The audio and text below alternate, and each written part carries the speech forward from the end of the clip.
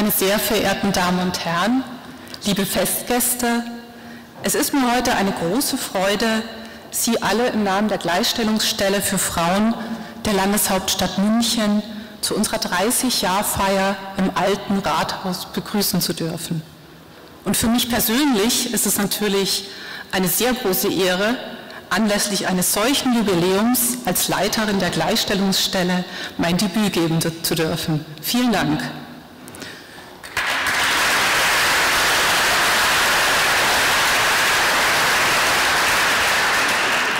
Ich muss sagen, ich war wirklich überwältigt von dem Interesse an unserer Festveranstaltung. Und wenn ich sehe, dass hier hinten noch einige stehen, möchte ich Sie gleich bitten, nach vorne zu kommen. Dazwischen sind noch ein paar Plätze, damit Sie alle die Gelegenheit haben, heute unserer Veranstaltung lauschen zu können. Ich werte dieses große Interesse als Zeichen Ihrer Verbundenheit mit der Gleichstellungsstelle der Landeshauptstadt München und auch als Demonstration für die unverminderte Aktualität unserer satzungsgemäßen Aufgabe, nämlich auf die Gleichstellung von Frauen und Männern in Beruf, Familie und der Gesellschaft hinzuwirken.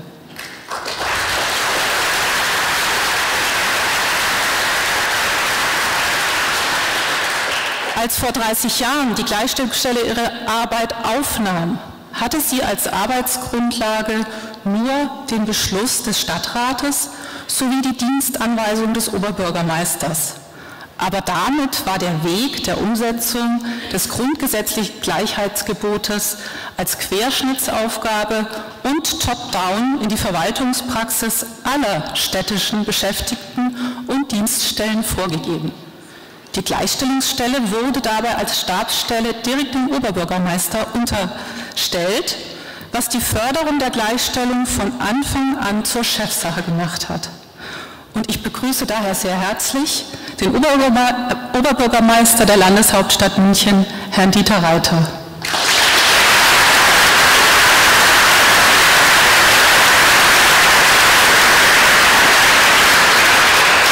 Ebenso herzlich begrüße ich die dritte Bürgermeisterin der Landeshauptstadt, Frau Christine Strobel.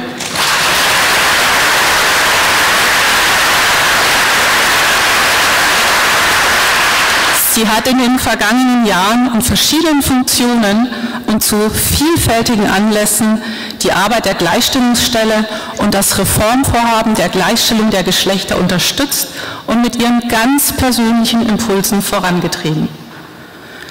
Die von der Gleichstellungsstelle initiierten Reformen und Initiativen innerhalb des Stadtverwaltungsapparates der Landeshauptstadt München konnten und können auch nur in Zukunft mit der Zustimmung des Stadtrates beschlossen und anschließend umgesetzt werden. Und daher begrüße ich sehr herzlich die Mitglieder des Münchner Stadtrates. Ich erlaube mir das in alphabetischer Reihenfolge zu machen. Ich begrüße sehr herzlich Frau Ulrike Bösser, Frau Gülserin Demirel, Frau Katrin Habenschaden, Frau Heike Kainz, Herrn Heimo Liebig, Frau Bettina Messinger, Herrn Thomas Ranft und die ehemaligen Stadträtinnen Ingeborg Lenowitsch, Monika Renner und Irene Schmidt.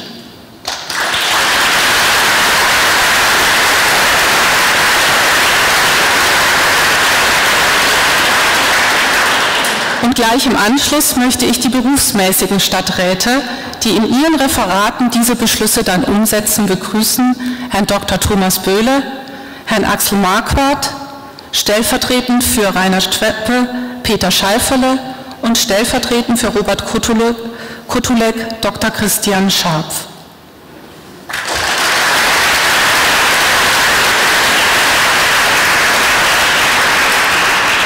Und da wir in einem föderalen System mit vielen vertikalen Verflechtungen leben, fahre ich fort mit der Begrüßung der Vertreterinnen und Vertreter des Bundestages, Frau, die ehemalige Abgeordnete Frau Hanna Wolf, sowie des Bayerischen Landtags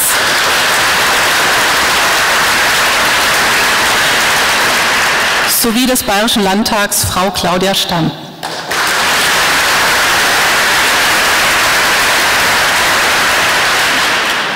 Gleichzeitig zur Einrichtung der Gleichstellungsstelle wurde auch die Einrichtung einer Stadtratskommission zur Frauengleichstellung vom Stadtrat beschlossen, die als Austauschplattform von Frauenorganisationen, dem Stadtrat und der Gleichstellungsstelle die vielfältigen und differenzierten Alltagserfahrungen von Frauen in München kanalisiert und in Form von Empfehlungen in die Kommunalpolitik einspeist.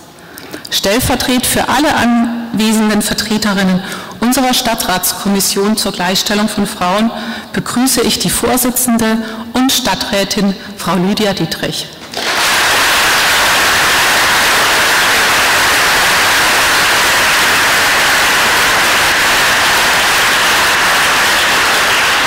Und ich begrüße auch alle unsere weiteren Kooperationspartnerinnen aus den Frauenverbänden, aus den Einrichtungen und Projekten, aus den Wohlfahrtsverbänden, den Gewerkschaften, den Bildungseinrichtungen, der Wissenschaft, aus anderen Organisationen und den Kirchen. Des Weiteren freue ich mich auch begrüßen zu dürfen die Vizepräsidentin des Bayerischen Landesfrauenrates, Frau Sonja Schweikart, die Gleichstellungsbeauftragten anderer Kommunen und Institutionen, hier stellvertretend die extra aus Bremen angereiste Ulrike Haufe, die Vertreterin der Leiterin der Leitstelle für Gleichstellung, Frau Ariane Wismeier-Unverricht und die ehemalige Leiterin Petra Rückwallenberger.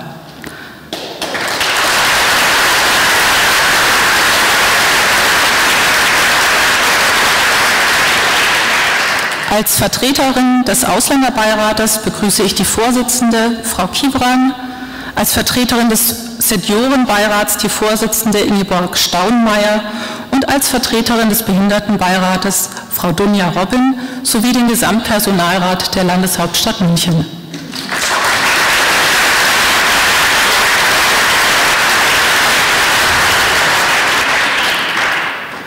Unsere Arbeit beinhaltet auch die beratende Unterstützung der Referate und die Überwachung der Umsetzung der Gleichstellung von Frauen und Männern im Verwaltungsvollzug. Als Querschnittseinrichtung hat die Gleichstellungsstelle mit allen Dienststellen Arbeitskontakte. Zahlreiche Reformkonzepte konnten entwickelt und umgesetzt werden. Diese Prozesse sind laufend anzupassen und gemeinsam mit unseren Kolleginnen und Kollegen der Münchner Stadtverwaltung, die ich jetzt pauschal alle begrüßen möchte, weiterzuentwickeln. Und aus der Vielzahl der Teilnehmerinnen möchte ich die Stadtdirektorin Frau Angelika Simmet herausgreifen und den kommissarischen Leiter des Jugendamtes, Herrn Markus Schön.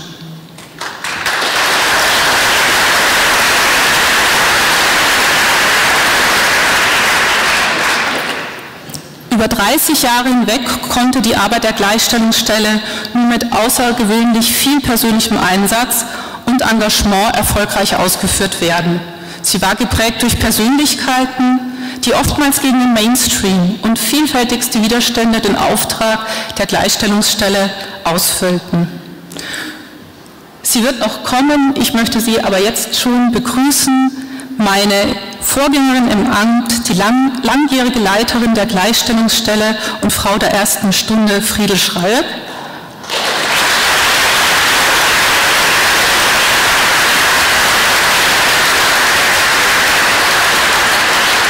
Und ganz besonders meine unmittelbare Vorgängerin von 2008 bis 2014, Frau Michaela Pichelbauer.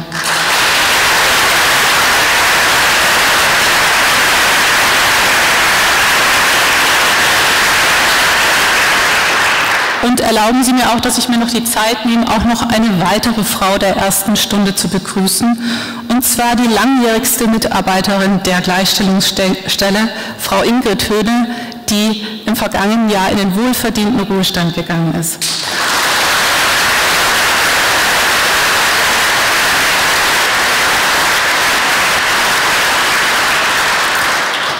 Ein solches Jubiläum bietet natürlich die Möglichkeit, aus verschiedenen Blickwinkeln das Erreichte zu bilanzieren und aus dieser Basis Perspektiven für die Zukunft zu entwickeln.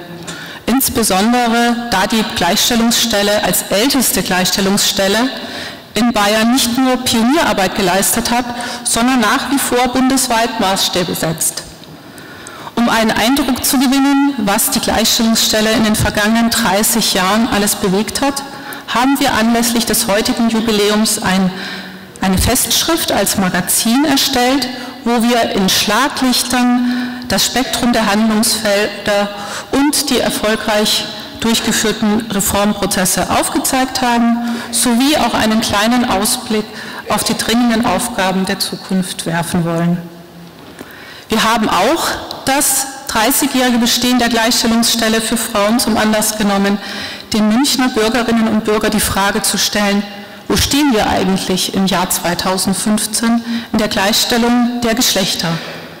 Im Laufe des Abends werden wir einen Ausschnitt aus den Einschätzungen und vielfältigen Antworten geben, die wir aus den repräsentativen Erfahrungen der Münchner Bürgerinnen und Bürger gewinnen konnten und die uns auch für die kommenden Jahre die Aufgaben auf die Agenda schreiben. Im Laufe von 30 Jahren vollzieht sich unweigerlich ein Generationenwechsel. Angesichts rasanter gesellschaftlicher Wandlungsprozesse gilt es immer wieder, das eigene Tun zu überprüfen, neue Herausforderungen wahrzunehmen und Handlungsoptionen aufzuzeigen. Wir werden uns heute der auch in der Öffentlichkeit viel diskutierten Frage zur Aktualität der Geschlechtergerechtigkeit stellen und ich begrüße die Protagonistinnen unseres Generationendialog Ulrike Mascher als ehemalige Stadträtin und erste Vorsitzende der Gleichstellungskommission und damit Zeitgenossin der Gründungsjahre und Rebecca Fertl vom Fachforum für Mädchenarbeit, die so viele Lebensjahre zählt, wie unsere Gleichstellungsstelle heute als Jubiläumszahl trägt.